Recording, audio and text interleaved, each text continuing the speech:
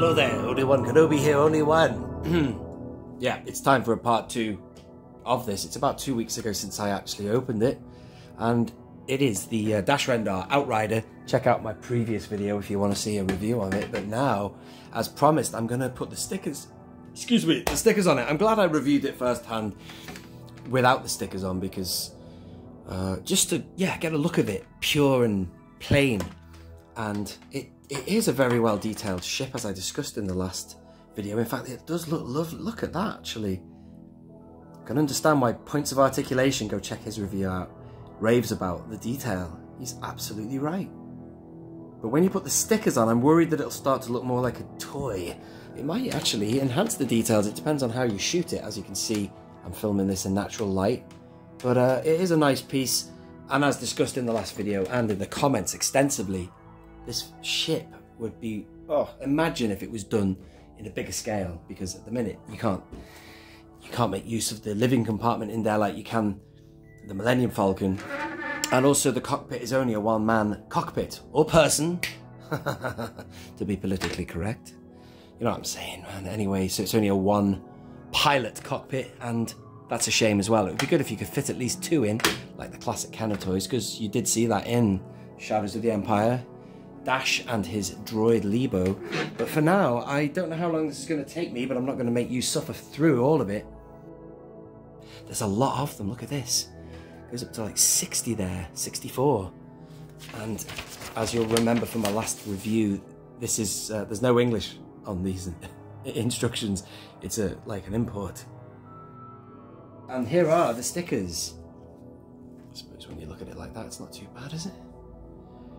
But I hate applying stickers. I've made a balls of it on vehicles as recent as the Obi-Wan Kenobi Vintage Collection Jedi Starfighter. That that was definitely a sticker, a sticker inserted vehicle.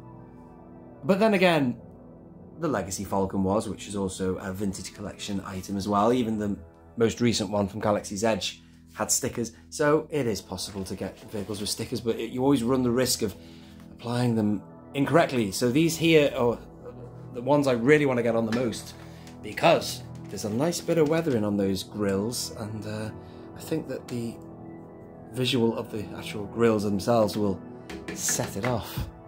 But it's a great little vehicle. The Outrider, everyone's saying about, oh, HasLab this, HasLab that. Man, if I was running Hasbro, it would be a HasLab. In fact, no, it wouldn't be. I'd, I'd get rid of the six inch line and I would keep pumping out three and three quarter inch. And this would be on your shelves in Forbidden Planet or wherever because I'm sure it would sell.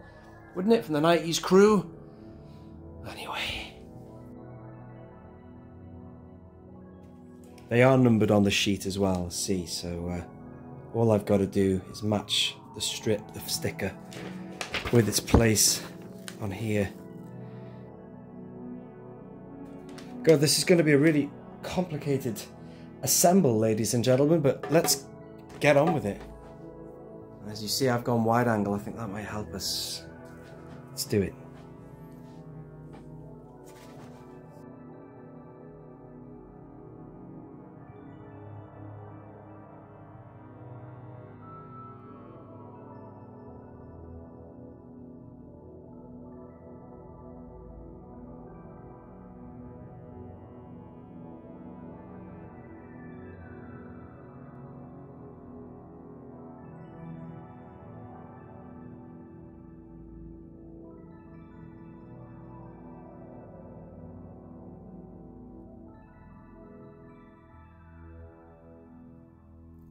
And ladies and gentlemen, we are done. That took almost 50 minutes. Well, it was 50 minutes on the timer almost.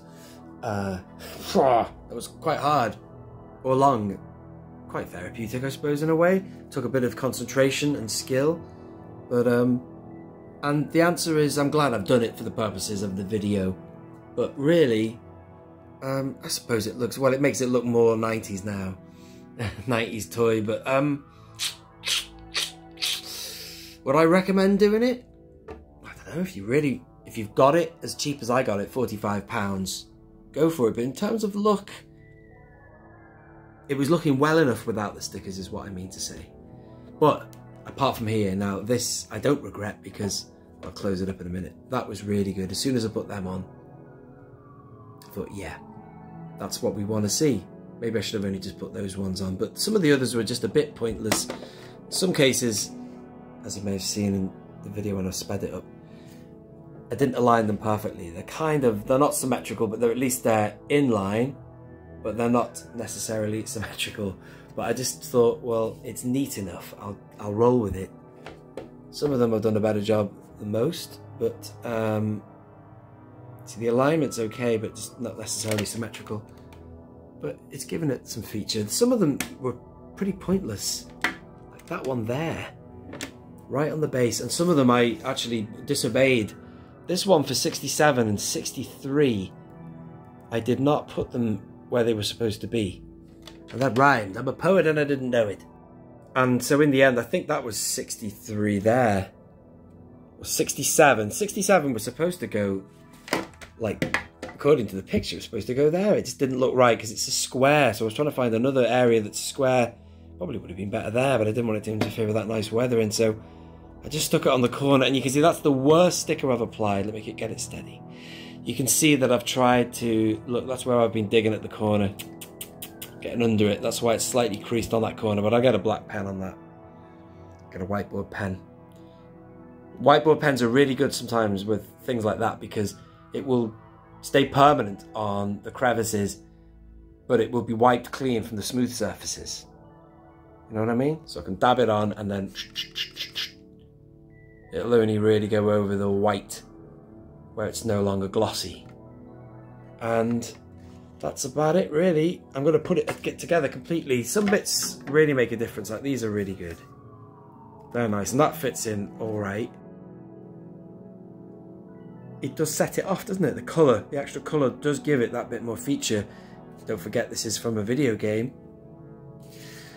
So dare I say, dare I say it gives it that a bit more vibrancy, colour, but and yeah, you've got that classic Kenner thing going on as well.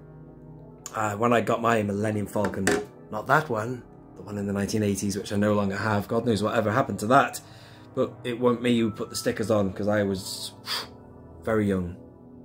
I would have been six or seven probably, if that. Which is very young, but um, my dad would have put them on. So, uh, well done, Dad. But as someone said in the comments, they, the reason they bought this back in the 90s was because they couldn't afford the actual Falcon. So this was another uh, option for anybody who wanted to get something that resembled the Falcon that wasn't quite as expensive. And having said that, I don't know what they charged for the Power of the Force Falcon back in the day. If anyone knows that, let me know. Or what this cost back in 95. I got it for £45, which is a bit of a bargain. Boom. Now I've put the stickers on, it is working that bit better. Let me give you some more shots. Yeah, it gives it that bit more. I mean, look at the background there. See, you've got the Razor Crest. You know, from the yellow of the R to the tint of the glass with a bit of blue there, it's got colour. This was looking desperately bland without the stickers, despite lovely efforts at some spray weather in there, you know what I mean? Airbrush almost. Uh, but now it's got these stickers on. No, I don't regret that. I'm glad I've done it. It looks pretty cool. I like it. Yeah, man, look at that. I think it looks alright. Whereas, that there, I'm glad I've not applied the stickers to that because it already looks amazing. There is the option of putting extra stickers on this to give it, you know, that's not a sticker, that's weathering painted on, but, you know, I think it's supposed to be oil drips or rust deposits and stuff like that. I don't know what it is, but I never put them on that. Same with the Falcon. My first Falcon for the Galaxy's Edge was faulty. I put all the stickers on that one. But when this one arrived, I never bothered. Um, and it, you, nobody would know, because most of them are on the inside anyway. And it looks so good, I just left it and just thought, well, no, I'd save me the hassle, because to be honest, that is really difficult. On the inside of the cockpit lid, they're really difficult to apply. And I just thought, nah, keep them, keep them mint keep them on the side, so I've got them at least mint. Whereas with this, there you are, ladies and gentlemen, they are all on there. There are in total something like 60, let's have a look and see. I think it's 66. 66 stickers, that nearly took me 66 minutes. I'm just joking, almost an hour. It was a long time. But then again, if you're going to do a proper job, take the time. ladies and gentlemen, that is the last time I will be videoing this in terms of reviewing it and setting it up. But it is a lovely ship. Let's just end this with that one remark there. That it is an historic piece in the Star Wars Kenner line, for damn sure. But also Hasbro, Star Wars 3 and 3 quarter inch in total. And a lot of people watched my last video when I reviewed it. So I appreciate that and I hope you've all come back to see the finale. The final stage the review. Thank you for watching this video. If you are new, subscribe. This has been Only One Kenobi. Only one. Out.